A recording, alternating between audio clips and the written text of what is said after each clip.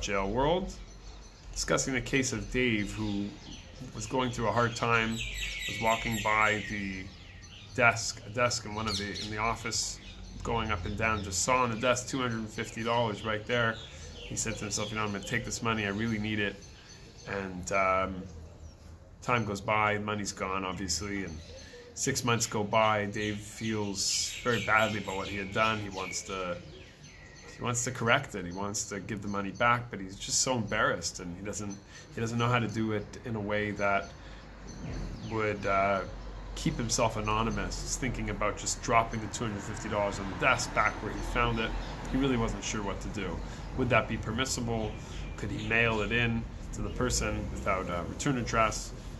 What are Dave's options in this in this uh, in this scenario? So the Rav Moshe Feinstein has a tshuva has a response on a question that similar to this. And he writes that in fact one would be permitted to return the money anonymously.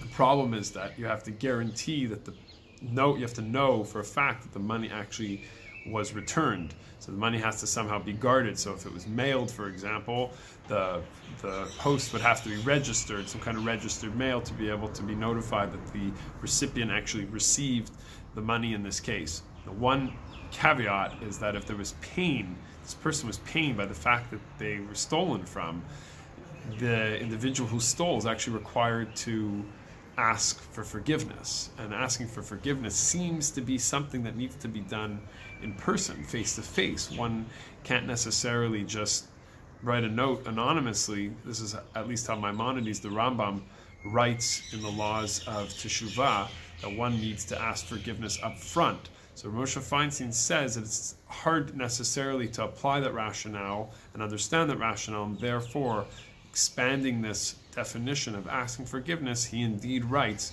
that one will be permitted to apologize anonymously in order to at least hold on to some of the dignity of this individual who stole the money, turn the money, put a note of apology, and that would be sufficient for making sure the money gets repaid and also for restoring some of that embarrassment which had been caused to the individual who was stolen from.